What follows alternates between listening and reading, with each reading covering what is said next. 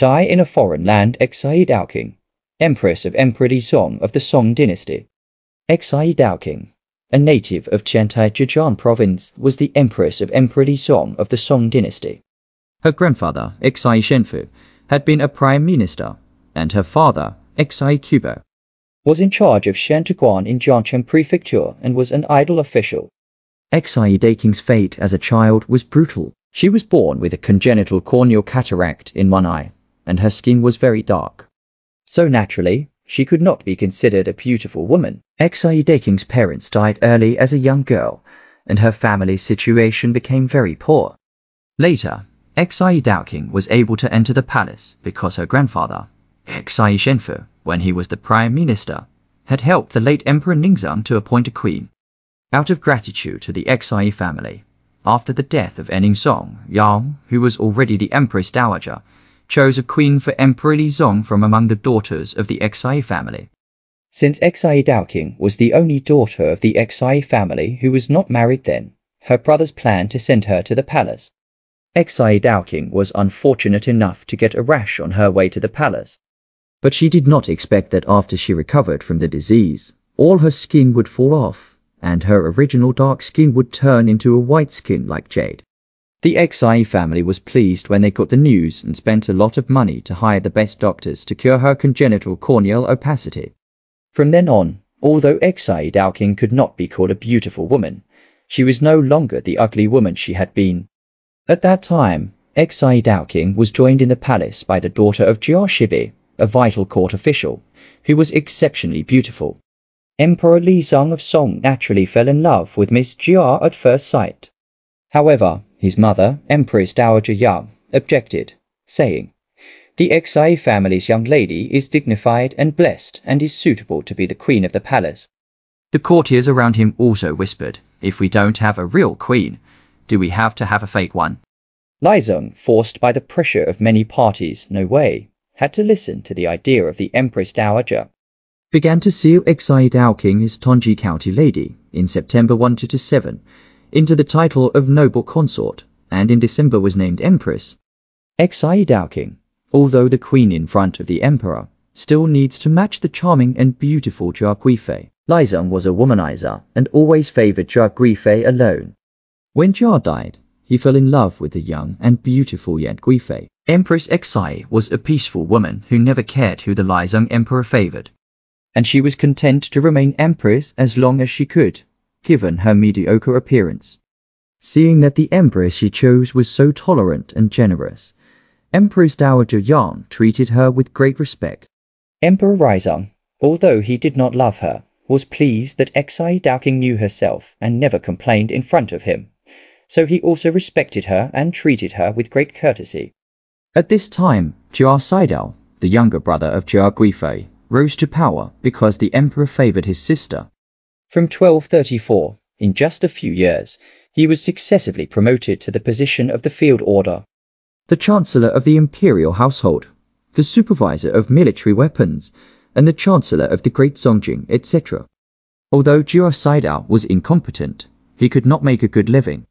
Although Jia Saidao had no virtue and no ability, because he was good at playing with power, his official position became bigger and bigger.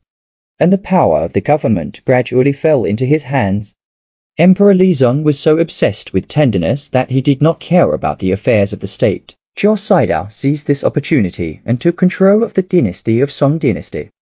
And he became a great power in the countryside for a while. After the Song dynasty, united with the Mongols to destroy the Jin dynasty in 1234. The Mongols began to take advantage of the situation and soon reneged on their alliance and infringed on the south. They crossed the border, killing and robbing people in the territory of the Song dynasty, causing the people in the border cities to live in poverty, with corpses and bones all over the place. In 1258, Mongol Khan Munkul decided to mobilize three armies to start a full-scale war against the southern Song. In 1259, the Mongol armies met and surrounded Hezhou present-day Hechuan, Zhejiang. Soon after, the Yuan army was ready to cross the river. Upon receiving the military report, the timid emperor Lizong hurriedly discussed moving the capital to Pingjuan or Qinchuan with his courtiers. When Empress Xie heard that the emperor wanted to move the capital, she immediately went to the palace and tried to stop him. She thought that moving the capital in such a situation would shake the people's hearts and make the situation even worse and unmanageable. It shows that Empress Xie still had some courage. Due to Xie Daoqing's strong opposition, Emperor Li did not move the capital.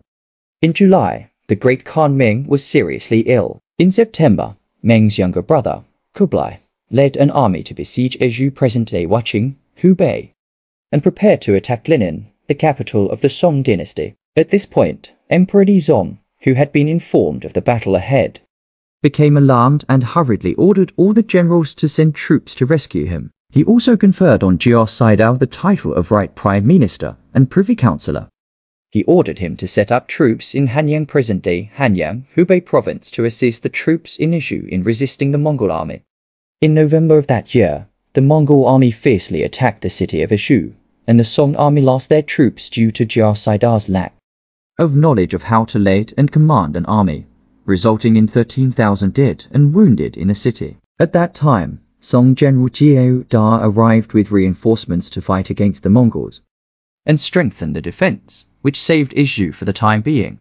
The left Prime Minister, Wu Qian, assessed the situation and ordered Jia Saidao to move to Huangchao present-day Huanggang, a military stronghold downstream of Eju, according to the needs of the war. However, Jia Saidao was a complete coward and could not lead an army.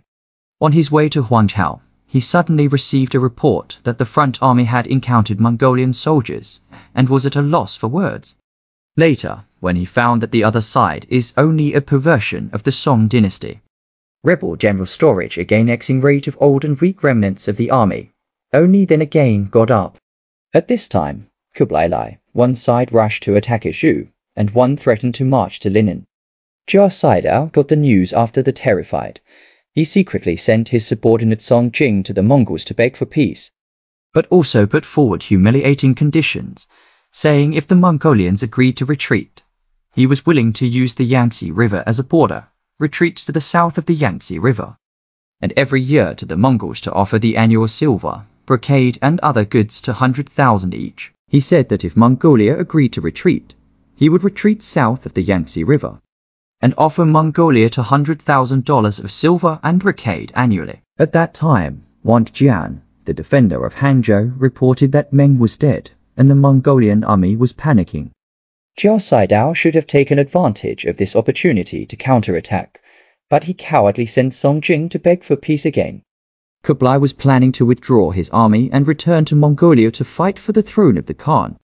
Still, Jia Saidao took the initiative to send him to the door so he took the opportunity to agree to the terms of the negotiation and went back to the north with his army with peace of mind. When Jia Saidao saw the retreat of the Mongolian main force, he mobilized his army to intercept and kill more than 100 Mongolian soldiers, and then hid the matter of seeking peace with the Mongols and reported to the court falsely the great successes of all roads. The siege of Yi has been lifted, the river and Han have been cleaned up, and the clan society is in danger of recovering from being at peace again. And it is a rest for the ages without boundaries. The ignorant Emperor Lizong knew nothing about the battle on the front line, and when he received the report, he thought that Jia Saidao had had great success in defense of the Song dynasty. In March 1260, the emperor proclaimed to commend Jia Saidao. In April, Lizong promoted Jia Saidao to the rank of junior master and appointed him as the Duke of Wei. Since the so-called Great Victory of Eju, Emperor Ruizong soon forgot about the national crisis. He indulged in a life of debauchery, ordering people to build luxurious palaces such as Hibiscus Pavilion and Shanglian Pavilion and to bring prostitutes into the palace to enjoy themselves day and night. Although Xie Daoqing was dissatisfied with the emperor's licentiousness, he could only pretend to disregard it not to jeopardize his throne. In October 1264, Emperor Lizong died of illness due to overindulgence. Crown Prince Valgin succeeded to the throne with Jia Saidao's support, which was the historical Yingzong. In 1267, Duzong honored Xie Daoqing as Empress Dowager with the title of Shuhe Shengfu and three generations of titles. Her father, Xie Kubo, was named King of Wei. Her grandfather, Xie Shenfu, and her great-grandfather, Xie Dingji, were also posthumously titled. Duzong and his father, weak, incompetent, and love of sex, relied on Jia Saidao and even honored Jia Saidao as the emperor's teacher. After only 10 years as emperor, Juzong was also overindulged in wine and sex and suddenly died on the eighth day of the seventh month, only living to be 33 years old. Under Jia Saidao's manipulation, the four-year-old Zhao Xian was crowned Emperor Gong, and Xie Daoqing was immediately honored as Empress Dowager. Xie Daoqing was then honored as the Empress Dowager. The Empress Dowager Xie was already old and sickly, but because the emperor was too young, her ministers repeatedly petitioned her for her to oversee the affairs of the emperor. Xie Daoqing had no choice but to agree. In February of the same year, the Yuan army captured Shanzhuang and Ishu in December. Numerous eunuchs and ministers sent a joint petition to Jia Saidao, asking him to supervise the army to fight against the Yuan personally. Although Saidao was timid, he was forced by the situation to set up a governor's office in Linan and still did not dare to send troops. In January 1275, Jia Saidao deployed 130,000 soldiers to send troops by water. However, as soon as the army reached Wuhu present-day Wuhu, Anhui province, he proposed peace to Elvishiyuan, the governor of Jianzhou of the Yuan dynasty, and released the Yuan prisoners to Wuhu to show his sincerity, and sent a lot of lychees and yellow citrus to Biu Yan, the prime minister of the Yuan dynasty and promised to pay tribute to the minister. Biu Yan refused to negotiate peace with Jia Saidao because of his bad faith and continued to march to Anqing present-day Anqing. Anhui province and Chizhou present-day Giki, Anhui province, Jia Saidao was at his wit's end, so he ordered Sun Hukan to let his troops to the station at Dingguozhou and Xiagu to let 2,500 warships to line the river while he led his troops to the station at Lugong south of present-day Wuhu, Anhui province. However, Sun Hukan and Xiagu were cowardly and abandoned the war. Jia Saidao saw this more panic. The Song army lost the command and collapsed, killed and wounded. Jia Saidao fled to Yangzhou in a small boat that night. After escaping from the danger, Saidao not only did not want to reorganize, but also wrote a letter to the court, suggesting moving the capital and asking the emperor to flee to the sea for refuge. Once again, the proposal was opposed by the Empress Dowager and the courtiers. The Song dynasty was in a precarious state, not only losing many battles, but also spending too much on military pay, resulting in an empty treasury, which was unsustainable. Faced with the imminent collapse of the Song dynasty, Empress Dowager Xie decided to practice austerity by cutting down her daily expenses and ordering the layoff of her palace staff. Jia Saidao's defeat at the port of Lugan humiliated the Song dynasty's national prestige, causing the court ministers to be furious. The privy councillor Chen Yuzhong, who used to be close to Jia Saidao, saw that he had lost his power and wrote a letter to demand that he be punished. However, Empress Dowager Xie tried her best to protect Jia Saidao because he was the brother of the late King Zhou Guifei, and only dismissed him from his official title as the equal of the military and state affairs and the governor of all the armies and horses. Although Jia Saidao's crimes were severe, Empress Dowager Xie punished him lightly, which aroused the discontent of the ministers in the court and the general public. In July, the three forces of the imperial students, the advisers, and the retainers united and petitioned to kill Jia Saidao, but Empress Dowager Xie refused to allow it. At this time, Jia Saidao, seeing the critical situation, also submitted a petition to blame Exai Gui and Sun Hukan, begging the Empress Dowager to give him a chance to live.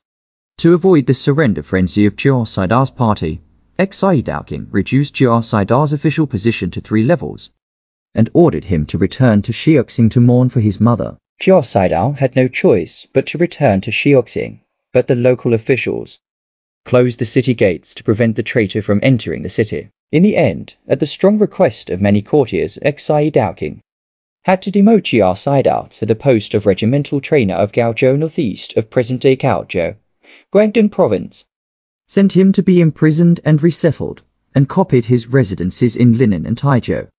In June 1275, a solar eclipse suddenly occurred, and the people of the country were talking about it, thinking that it was a bad omen. So Empress Dowager Xie had to cut down the holy blessing i.e. to save the expenses of the royal family to seek the blessing of heaven for the great Song dynasty.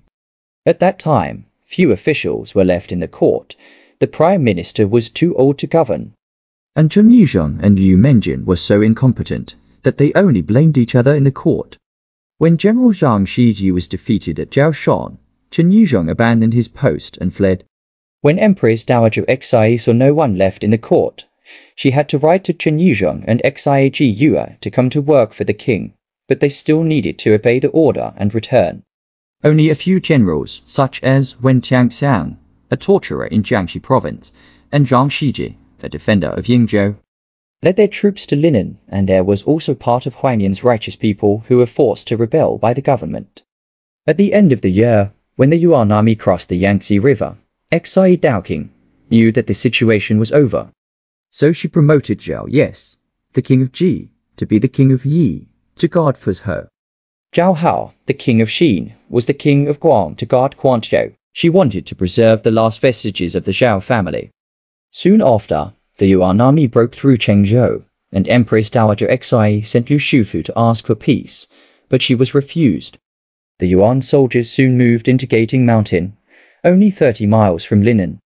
When Tianxiang, Zhang Shiji and others suggested that Empress Dowager Xie move the palace to the sea, they temporarily avoided it for a while. They organized the capital city soldiers and the Yuan army to fight, but Xie Daoqing at this time has been disillusioned, lacking of power to return to heaven. They intend to surrender to the Yuan army. After discussing with Chen Yizhong, she offered the Jade Seal of State and the surrender form. But Biao Yan was unsatisfied with the Jade Seal and asked Chen Yizhong, the right prime minister, to discuss the matter of surrender. Chen Yizhong, fearing that Biao Yan would harm him, secretly abandoned the city and fled south that night. Empress Dowager Xie had no choice but to appoint Wen Tianxiang as the right prime minister and ordered him to go to the Yuan camp to discuss surrender with Biao Yan. Wen Tianxiang was not overbearing. He was righteous, accused the Yuan army of atrocities, and proposed to retreat before negotiating peace. Of course, Biao Yan refused and immediately detained Wen Tianxiang in the Yuan camp. To avoid letting the capital city of Linan suffer, Empress Dowager Daoqing finally visited the table and asked to surrender. In February of that year, the Yuan soldiers entered Linan without bloodshed, and Emperor Gong and Empress Dowager Xie were captured. To dismantle the remnants of the southern Song folk resistance to the Yuan, Kublai treated Empress Dowager Xie and Emperor Gong very kindly, first left her in Hangzhou to recover, and then took her to the capital in August and made her Mrs. Shufani County. Seven years later, Empress Dowager Xie died in the Yuan dynasty and was buried in the western suburb of Linhai at 73.